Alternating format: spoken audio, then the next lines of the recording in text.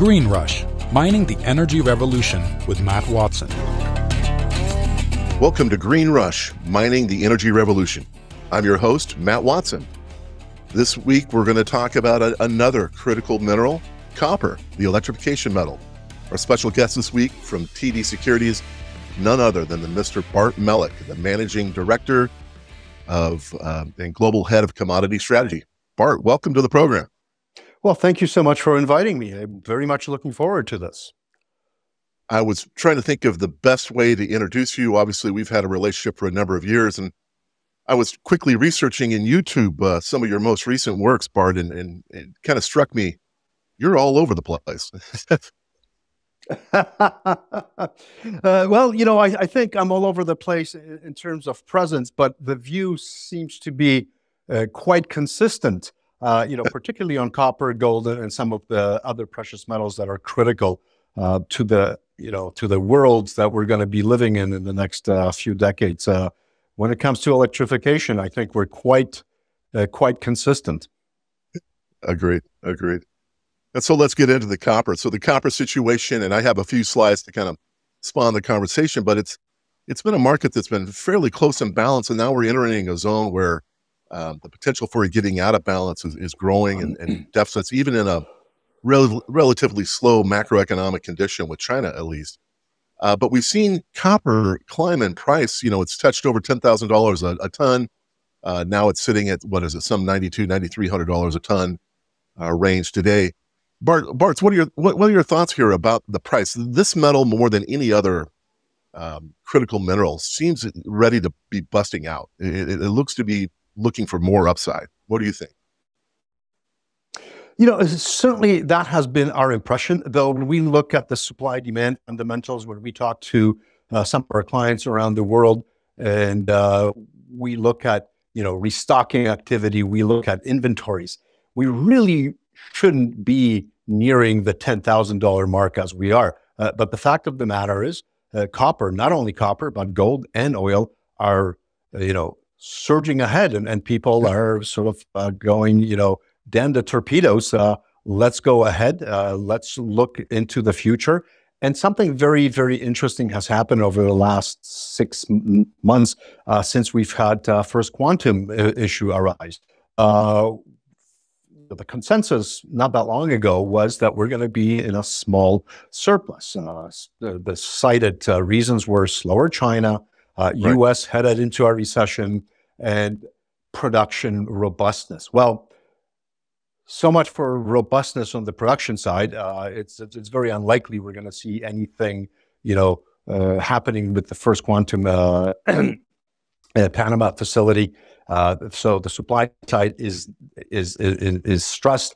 Uh, we're getting TCRCs that are very very low reducing mm-hmm. the incentives uh, for smelters uh, to smelt. You know, we could even have some slowdown there as well. So the supply side isn't looking anywhere near as robust. And on the demand side, well, China, China is is very likely going to uh, stimulate uh, the construction sector, uh, probably uh, power transmission and so on. And there's mm-hmm. the United States. As we've seen the data last Friday, and and we're still well over, you know, uh, 250. Uh, we, in fact, we were on over 300,000 new jobs in the United States.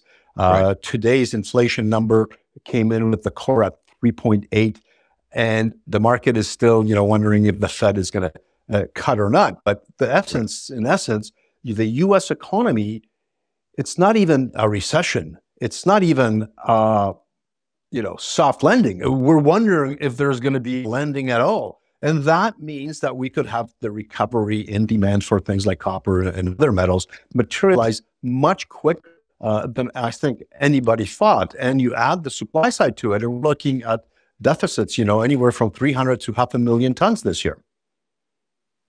Absolutely. I should have started with some preamble about the fundamentals of copper. Obviously, it is an electrification metal. Its uh, its conductivity is one of the best on the periodic table, second only to silver. Um, and those two, I, I, you know, are, are clearly the top, uh, part of the uh, electrical uh, demand is is because of that capability.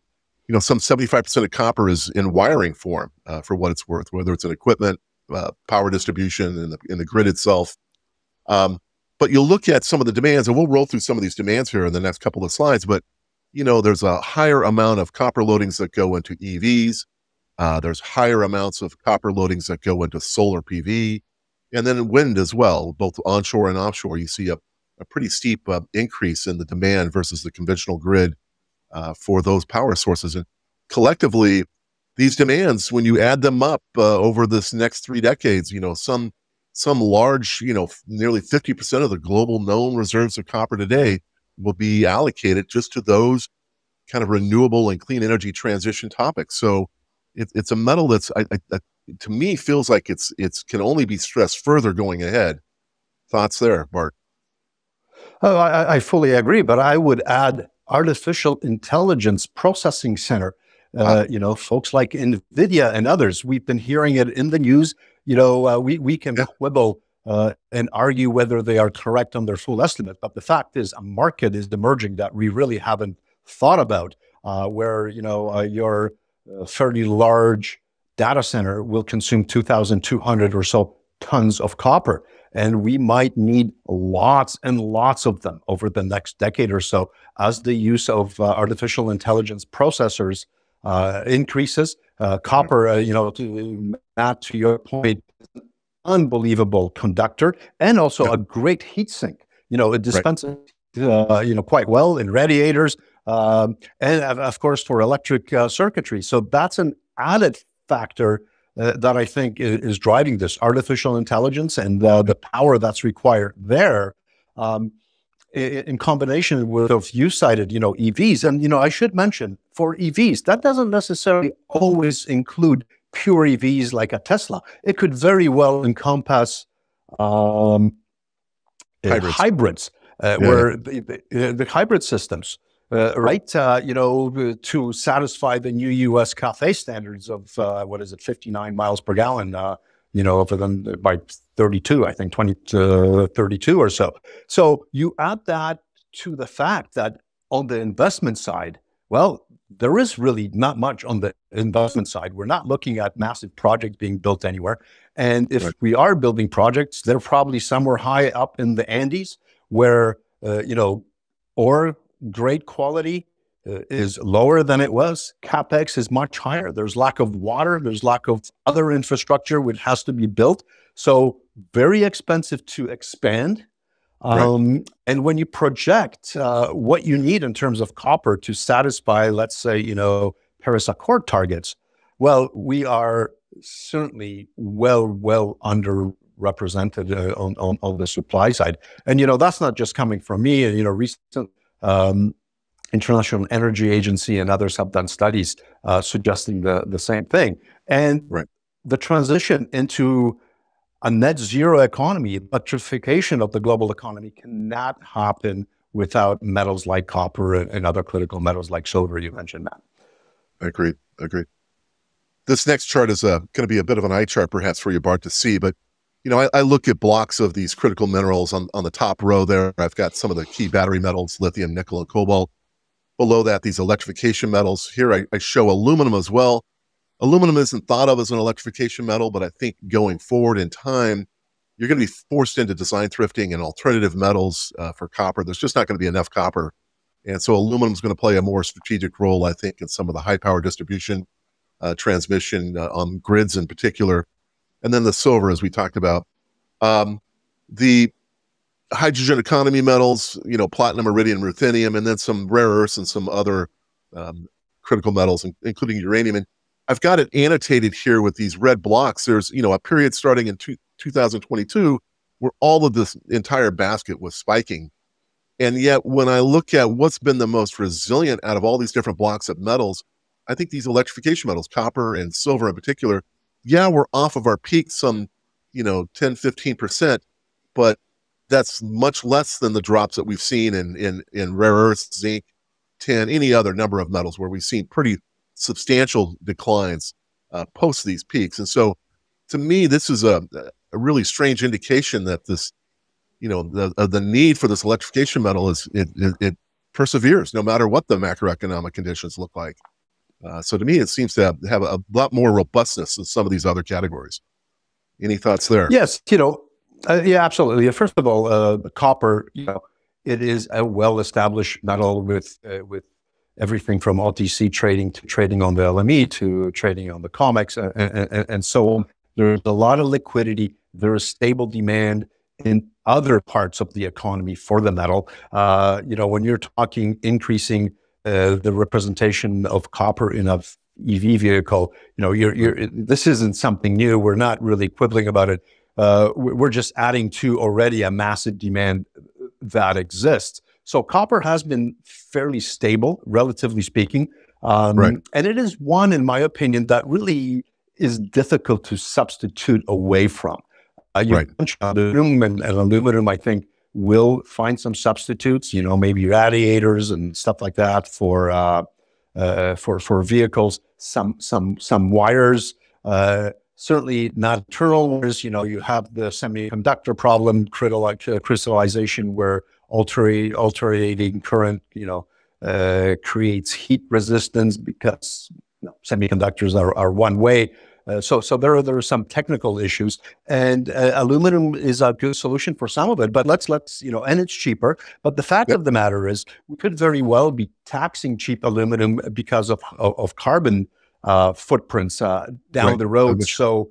Um, yep. You might not have as much thrifting uh, opportunity as I think many people think, but yep. there is some. There's stable demand and investment. I think that's the key because of this volatility. I know in lithium, for one, uh, you know, the, the, fair question is, you know, why should I take a risk in it if my asset goes from being valuable to being underwater uh, very quickly? So there need to be, in, in my opinion, some sort of hedging solutions where you can stabilize the price where boards of directors and investors uh, yes. feel that, you know, if they invest in an asset, uh, it's not going to go from, you know, from uh, from zero to 100 and then back to zero. It's just too much volatility. And I think that might explain some of the reasons why we're not seeing as much investment as we know we're going to need down the road. Absolutely. You, you brought up a great point that I was going to raise. And yeah, if, if from a mining uh, investor perspective, you know, lithium having this dramatic roller coaster of a ride or, or nickel or cobalt, man, that does not inspire long-term confidence in mining investment in these segments uh, even though you can, you know, guarantee the lithium demand is going to be there. Um, I, I, again, I just think the the copper it's it's just so essential to the you know function of electronics. It just seems to persevere no matter what. Um, you know, the other design thrifting or alternatives that we're seeing used is in subsea cables. Uh, we're seeing groups uh, pull on carbon steel as opposed to copper for what are going to be high power transmission lines uh, on the bottom of the seafloor uh, to help transport renewables, let's say from North Africa into Europe. Um, and um, so we're seeing some design decisions made there uh, for cost and for just for thrifting. But um, but I think I think you're you're right. There's going to be some limitations to how far you can really do that, do these alternatives and do this design thrifting. And now just looking at some of the loadings, you know, to your point on, you know, conventional ICE, uh, internal combustion engine vehicles, gas or diesel, you know, typically looking at about 25 kgs of copper per vehicle, whereas hybrids are, are basically double that. BEVs higher still, and of course EV buses and heavy duty can can be very substantial loadings. So we're we're seeing the vehicle market pulling more demand. But I think what really strikes people when you dig into the the detail is look at some of these other energy sources for electricity generation. You know, the conventional grid consumes you know 1500 kilograms per megawatt. But those numbers when you get to offshore wind are phenomenally much larger. I mean there's some 8x larger in in scope than the conventional grid. So um, even some of this renewable deployment plans that are coming out are going to be pulling significant weight for the ride as well.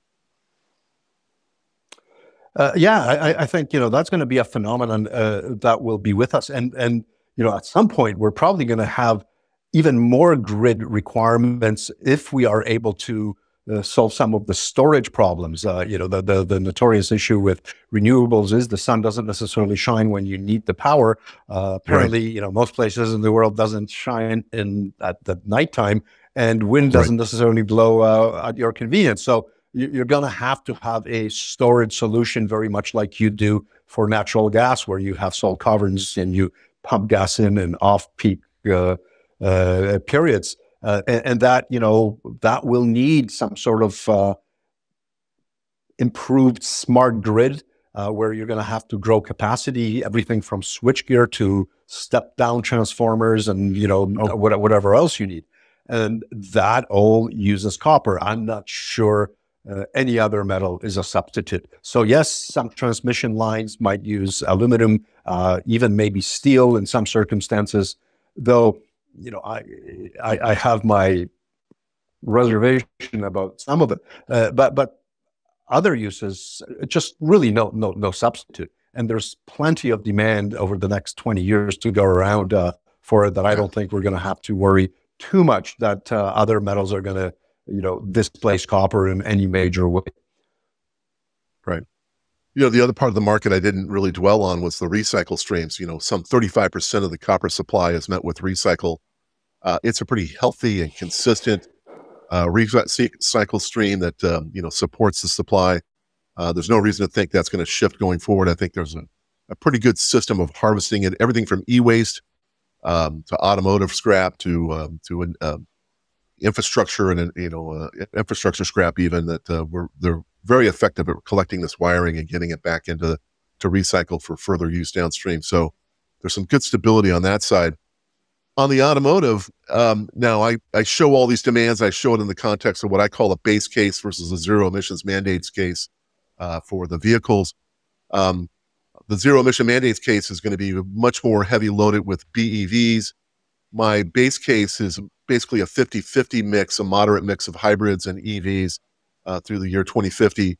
And, and yet we see the copper demand in total for vehicles in the base case climbing to nine and a half million tons a, a year uh, by 2050, with some seven tons of that being either hybrids, plug-in hybrids, or BEVs, uh, pulling that demand. The the zero demand, the zero emissions case, if we're able to hit all these 2035 you know EV mandates, um, it would be a faster and more significant copper pool. But I, I look at these numbers, and, and these are, are pretty shocking numbers to me, just on how much demand is coming from the from the vehicle segment going forward. Again, there's just no denying this, and I don't think there's a design alternatives or significant thrifting that's going to help us much here. Uh, it seems inevitable on the on the vehicle front. Would you agree?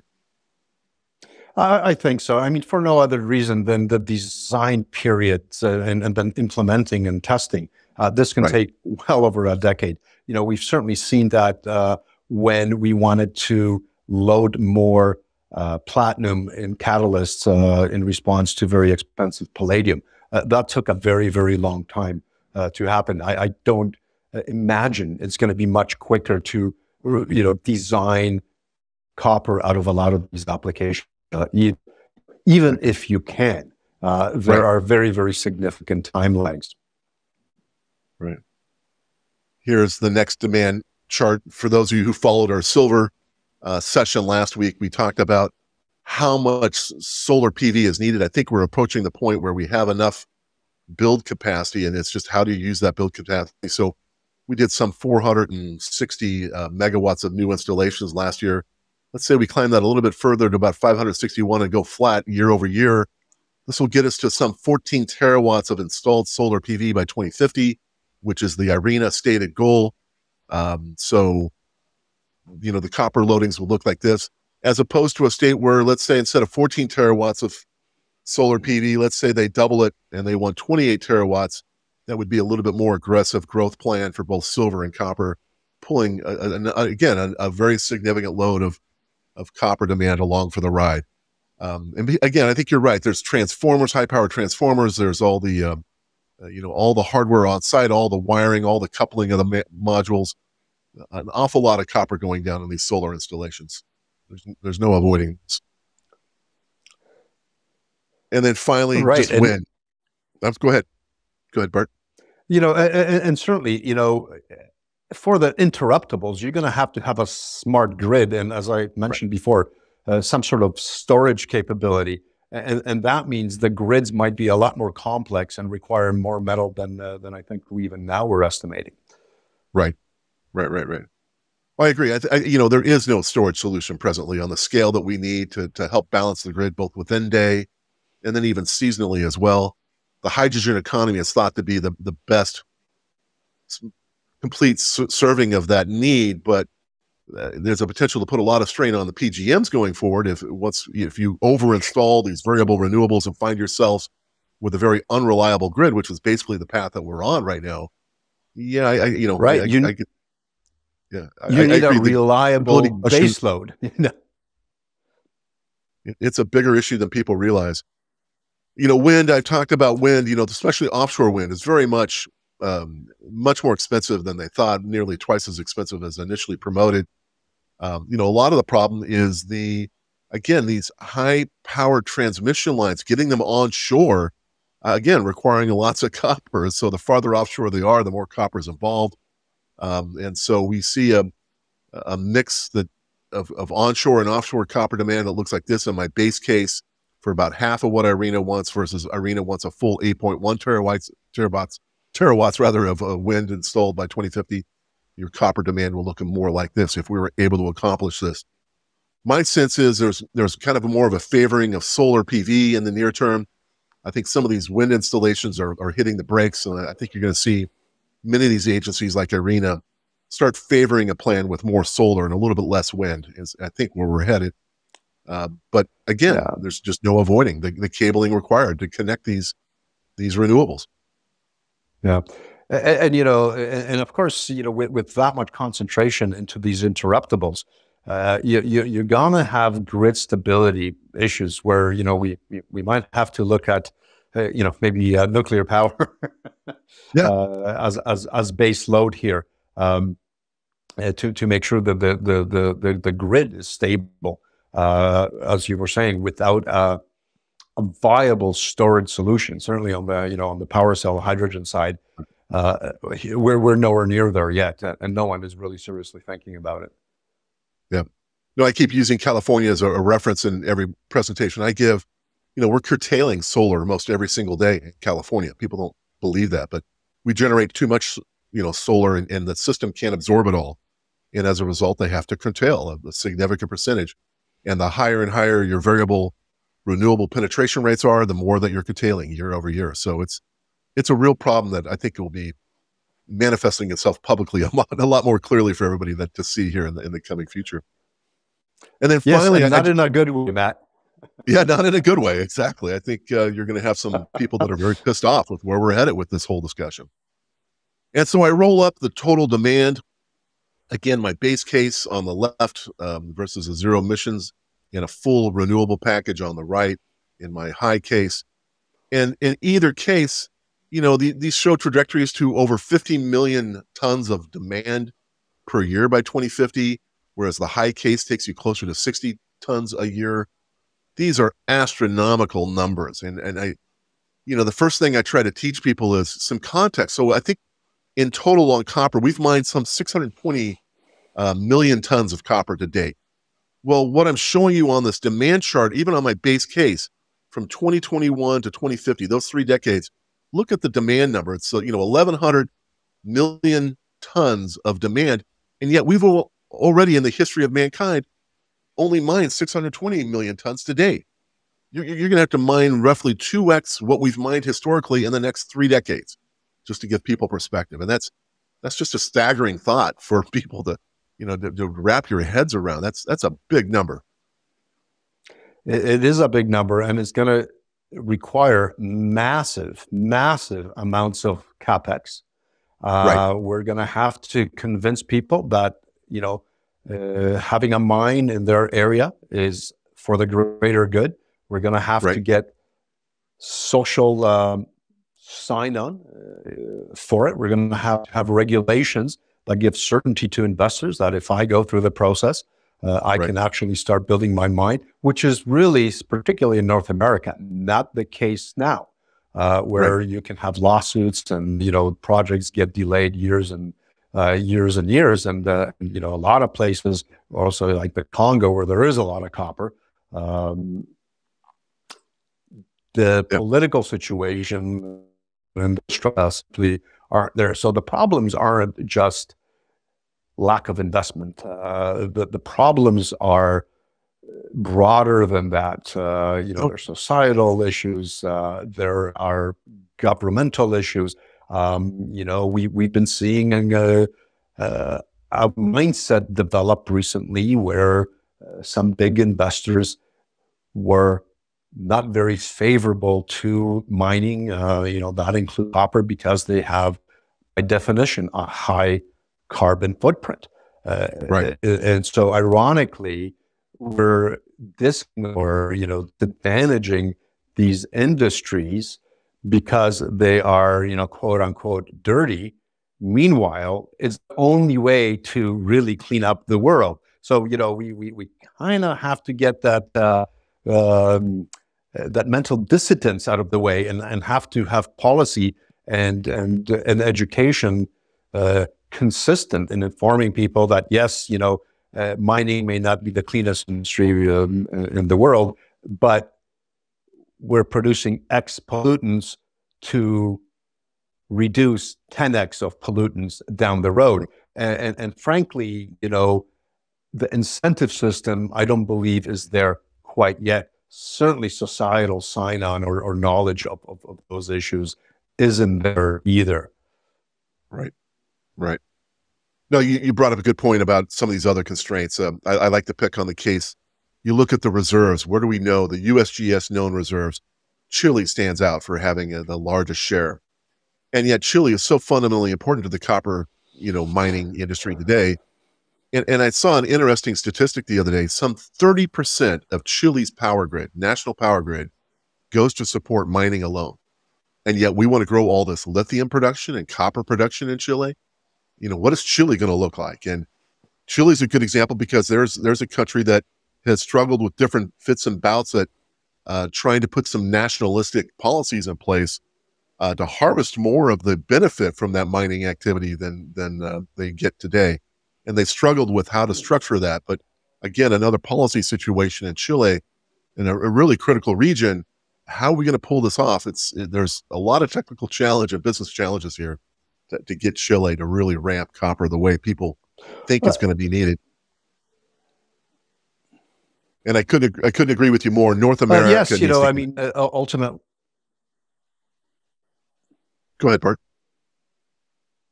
We, we, we do have to get our act together, and you know the United States has to work with countries like Canada and Mexico, uh, both uh, mineral uh, rich um, I'm just talking about the NAFTA region here for a, for a moment, uh, where we're going to have to coordinate, uh, where we're going to have to take protectionism off, um, uh, you know, where trade can go back and forth both ways to everybody's benefit. Uh, and, you right. know, we're going to have to involve industry, governments, uh, and the, the, the financing community all at once. That is really not happening in any, you know, significant way that would lead to a consensus and then global or international policies uh, that are firm and uh, transparent and enforceable. Uh, I, I, think there's right. a long way to go, and you know I'm afraid that this transition may take a little longer than everybody would like it to. Agreed. You know, one of the other startling facts in the background is just the copper ore grades, and so the chart I have up it shows a long-term historical picture of where copper mining has been historically, but it's you know been up as high as three to four percent in the 1900s, and now you know if you have a one percent deposit, you're sitting on a, a premier mine, right? Uh, now we're dealing in fractions of one percent as, as often the the grade that we're dealing with. Um, just driving the point home, just your tailings and the amount of material that you need to mine is, is growing exponentially here to get to the remaining available copper. Um, so this this really puts a technical challenge in front of us as well. Yeah. And, you know, I would add to that, you know, in addition to the fact that ore body grades uh, have been deteriorating over, over the decades, you know, clearly uh, everybody wants to go for the easy stuff first. Uh, but it's also increasingly in, you know, difficult parts of the world. Uh, right. It could be in high up in the Andes Mountains where there is really a shortage of water, which which you require uh, power, roads, Uh, so uh, you know maybe geopolitically un- unstable uh, parts of the world where where you know I don't know how you solve that one exactly that, that also lack infrastructure and you're going to have to build all that. Uh, there's going to have to be some sort of financing available. There's going to have to be assurance for investors that you know they're not putting good money you know in an you know in in a problematic area. Um, right. You know the first quantum experience I, I think is quite telling uh, where you know all of a sudden you thought you had a operational mine and and then you didn't. Um, right. So you know, and, and, I think that can only be done on a governmental level where these agreements uh, are, are, made and, and, commitments are made and, and they're firm. Uh, but I think you know we are seeing the problem of rising nationalism and resource nationalism in particular. You know, Indonesia comes to mind, uh, where I think this is going to be very very difficult. Um, yep, agreed not insurmountable, but you know, not in doesn't necessarily mean it's going to be a big global coordinated effort. Uh, it might be more piecemeal, and, and, and you know, and, and, that that means delays. Right. And then I'll finish up the discussion on uh, copper. Here I have a chart that shows every five year an interval of what the USGS known reserves were at the time. And you can see a, a growth in those reserves that are available. And then I go to an, an annual mode here 21, 22, 23. So here's the most current information. But when you translate this into years worth of supply, we're still sitting at about 37 years worth of supply uh, before we exhaust our, our known reserves. And not that there isn't more metal out there, obviously there is, but it's going to require exploration and turning that mining wheel, if you will, uh, to develop more sites and to, to have more mines available. And, and, again, to your point, we've got to break this NIMBY, this not in my backyard mentality. We're going to have to mine copper pretty much everywhere that it's available in the North America and, and, across the globe, Chile as well. Um, we're going to have to mine all of these uh, more substantially to hit these numbers. Um, and, and, and so again, just painting a picture of the challenge, this is really, this growth has slowed down a bit. We'd like to see this known reserves number continue to climb, but you all we have right now is line of sight to 37 years worth of supply at present rates of consumption. So any yeah. thoughts here? Well, you know, you, you're right on point. We we are going to have to mine it wherever it's available. Uh, I would like to see North, North America uh, commit more of you know political and uh, actual capital because uh, right. for our security of supply, we we are you know uh, we are uh, legally stable, security stable area with court systems, enforceable laws. Um, and we feel North America kind of just in time uh, system. Um, and there could be a great symbiotic relationship between uh, our, our three countries. You know, we could I could certainly include Europe in this, but we're going to have to get serious about declaring you know, something like silver also a critical mineral uh, as as well, and make policies uh, that allow that to happen. Uh, I'm not, you know, a big fan of, of subsidies, uh, but there are there is room for governments to act where markets fail. We, we've done it with, you know, here in Canada with mortgage insurance um, mm-hmm. uh, to, to protect, uh, you know, uh, financial institutions from default. Uh, we can do the same thing on, on the side. We can you know, get creative with offtake agreements with major users where, where they agree to prepay uh, on an index basis to cover the capital costs and some sort of rate-based return like we used to do with utilities. Uh, so we're going to have to think outside of the box uh, to make sure this happens. At this point, it really isn't. I agree. Well, Bart, I just can't thank you enough for your time today. Um, you know, I tried to focus on some of the, the fundamentals of the supply demand picture, but I think the fundamentals of copper are pretty fundamental, right? I mean, we're really this one's pretty straight up, straight straightforward. And, and, of all the things on the periodic table, this is one of the lowest risk investment um, metals that uh, you can pick. Uh, this is something that we're absolutely going to need down the down the road. To me, this is a, a slam dunk for investors to to to to circle the wagons, if you will, and, and to help the global cause. Any final thoughts, Bart, before we wrap up?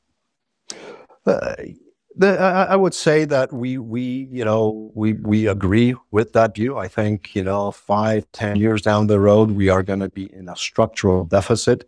Uh, the problem, of course, with commodities is you cannot use more than you produce. Uh, you right. run out of inventories, and guess what? You know, you, you have demand destruction. Um, uh, but as optimistic as we are, uh, we also have to be cognizant of the fact that there are cyclical forces like interest rates and recessions uh, over the next uh, couple of years, at least, uh, that can uh, cause copper prices to to to move lower. that to me would be a signal that it's temporary, and and maybe we should you know look at buying from from those points. But we we have to be prepared to look at volatility. All these commodities are notoriously, you know, so-called supply, you know, price inelastic and they're volatile. Uh, so in the mm-hmm. short run, there'll be volatility, but longer term, I think it's up, up and away. Fantastic. Well, again, thank you so much for your time, Bart.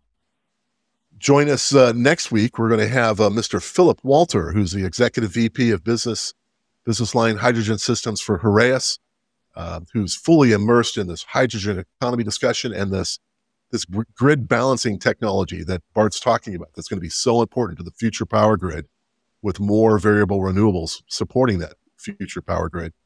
And so we'll we'll have a, a healthy discussion on the hydrogen economy and the implications to PGMs next week with Philip. Again, this is Matt Watson. This is Green Rush, mining the energy revolution. Join us again here next week. Thank you all. Take care. Green Rush Mining the Energy Revolution with Matt Watson.